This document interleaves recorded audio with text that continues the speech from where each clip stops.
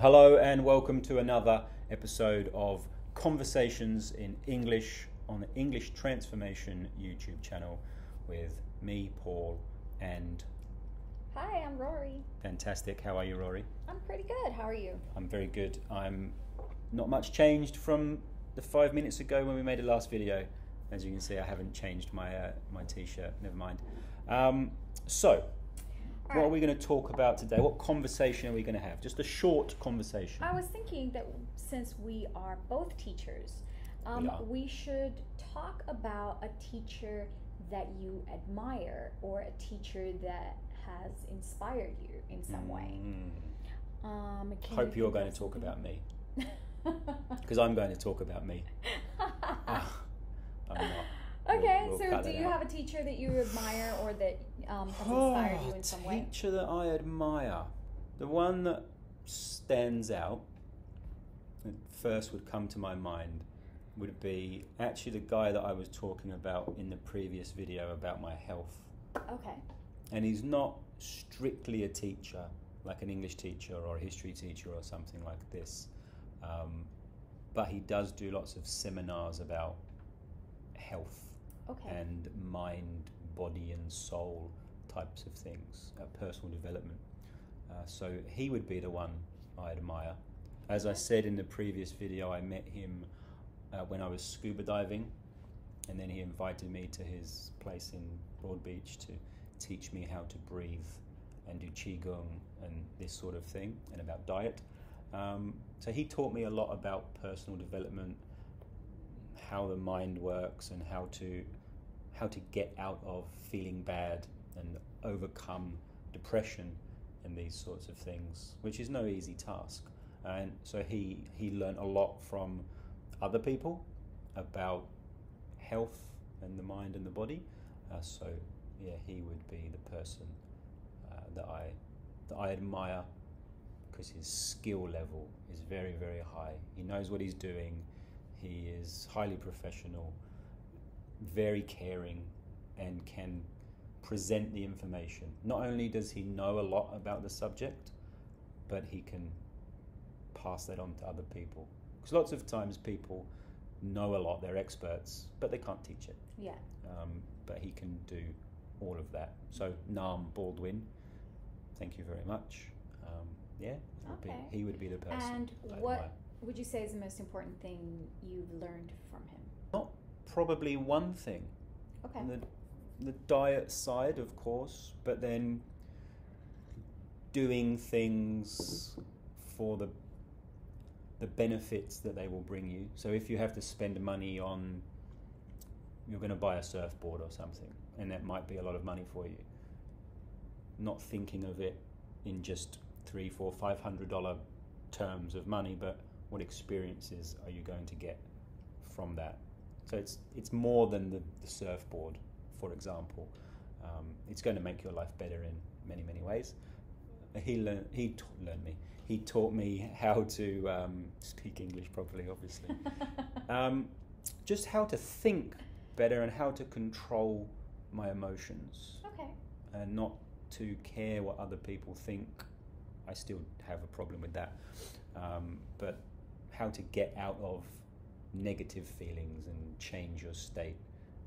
Just basically feel better Okay. in any situation.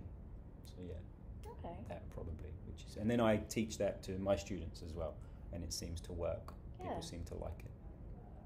Oh, that's great. That's great that that you've learned something so important from him, Mhm. and that you're also able to um, pass that on to your students in some Yeah. way. Yeah. My wife calls it Nam things because there's not really. I don't know how to say what he does. Um, He teaches Mick Fanning, um, a championship surfer, Australian Olympic teams, Okay. various disciplines, um, and me.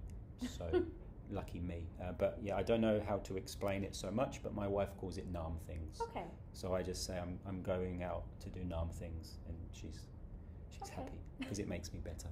Um, Oh, good. how, how about you? Who's a teacher that you admire besides me? of um, course? of course. Besides you, Thank you. Um, I I've got two teachers that I really admire. Um, the first one was actually my grandmother. Mm. Um, my grandmother was a kindergarten teacher. Um, Cool. And she was a, a kindergarten teacher for a very, very long time. Uh, she taught uh, some of uh, Honduras's ex presidents. Wow. Um, and yeah, yeah. Um, but what I admired about her as a teacher um, wasn't anything that she taught me because she was never actually my teacher. She was just my grandmother. However, from a very young age, I knew she had been a teacher, and she um, she lived in a house in, in this town in Honduras that was very close to the center of town, and uh, whenever we w- would visit, there would always be former students of hers that would drop by uh, to um, bring her something. Say, um, "Oh, we bought these extra mangoes here. Uh, teacher, I brought you these mangoes, Or, "Oh, here we made some tamales. Here, have some tamales." Or um, just just pass by and say, "Hey, teacher, how are you? How That's are you nice. going?" Um, yeah, and she really that really showed me what an impact a teacher could Mm. have because she was a kindergarten teacher yet these were people that had grandchildren of their own that were still decades after she had taught them It's good. still had this like love and admiration for her where they would bring her you know presents or drop by and say hi and update her on their lives or on their children's lives or so Nice. I, it, I really became aware of like what a big impact a teacher could have on Mm. someone's life that decades after you'd been their kindergarten teacher they still like had this appreciation for you um, and the second teacher that i really kind of um, admire and who sort of inspired me um, was my eighth grade math and literature teacher Wow. uh, so mr reeser hey And, and what's so cool about Mr. Risa? Mr. Reeser was the first teacher that I actually kind of saw as a human being. Generally, I feel when you're in elementary and high school, you don't tend to see your teachers as actual people. What did you think they were? Uh, I don't know, some robot that was there to torture me. I had a student on the Gold Coast in a school, I won't mention it, but he got a job.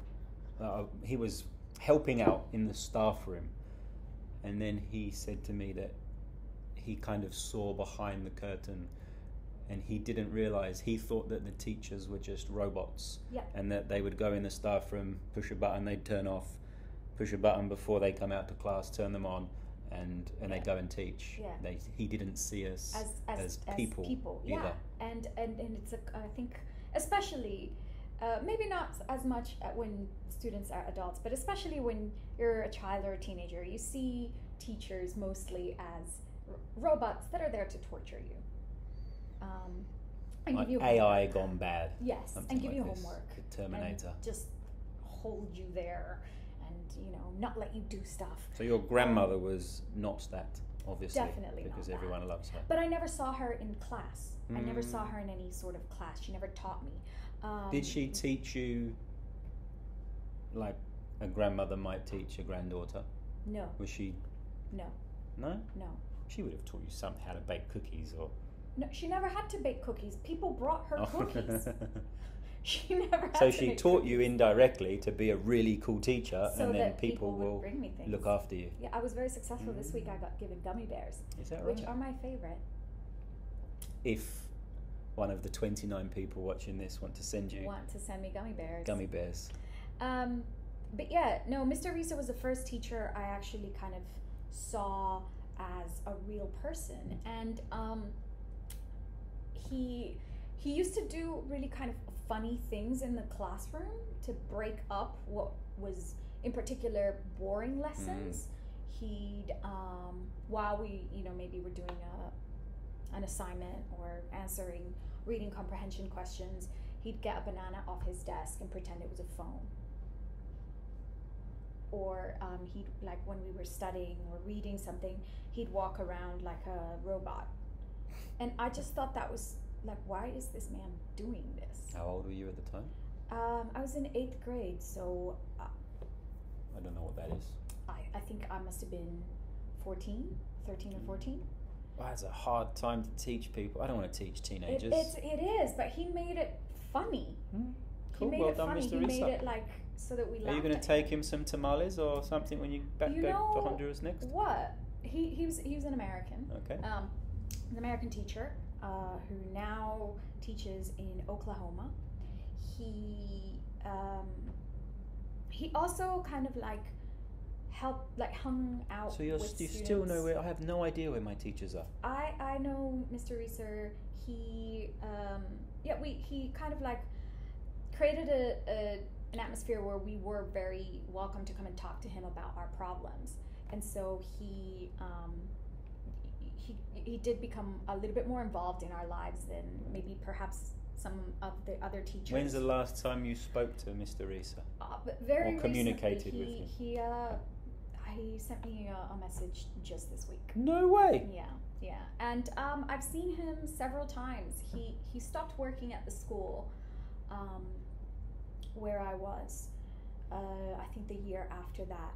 Then when we graduated from high school, he came back to Honduras for our graduation ceremony Whoa. and uh, I've seen him several times since then. Uh, he was traveling in London when I was living in London, and we went out for beers at the pub.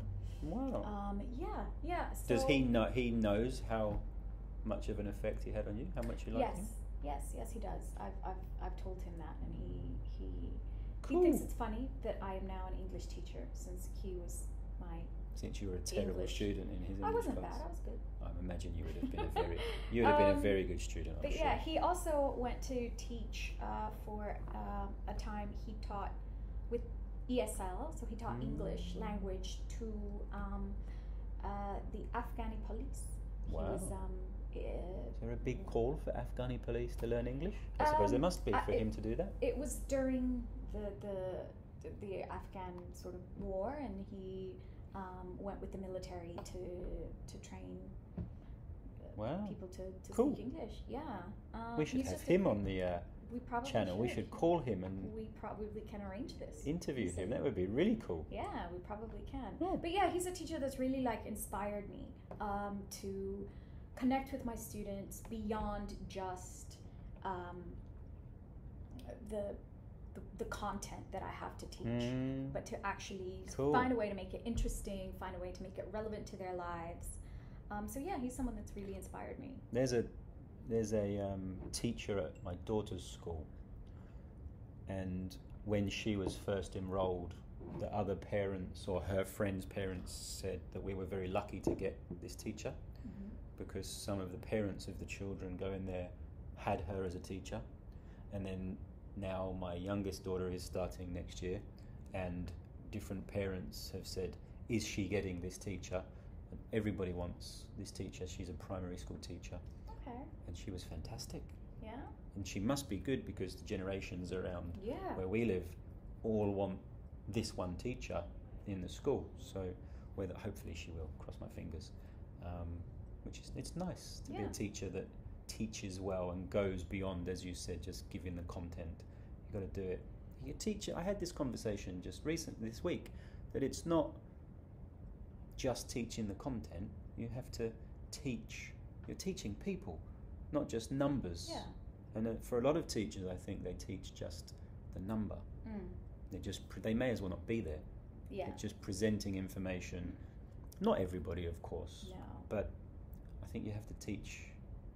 You're teaching ten or twelve or fifteen people, um, so it's got to be as cool as Mr. Risa Yeah. or Miss Moss in my daughter's case, uh, and you and me, Yeah. hopefully. Cool. Um, if you guys have any teacher that you particularly admire, um, or if you know of a teacher that has done really amazing things, um, make sure you comment and tell us a little bit more about them. Give them a shout out. And yeah, maybe connect and tell them what makes them such a great teacher. Fantastic. Thanks very much, Rory. Can't wait. I, I've got to go now and watch um, my daughter in a Christmas play, uh, which will be, I'm very excited about, as you can hear in my voice. I'm sure it'll be great fun. Um, but I could stay here all afternoon and have different conversations with you Sure. on YouTube. Uh, Yeah. So I'm looking forward to next week when hopefully we can do that again. Uh, let us know in the comments below what topics you would like us to talk about, and uh, we will do our best to do that. Like and subscribe. Have a fantastic day. See you next time. See you next Bye-bye. time. Let's see if those recorded, shall we?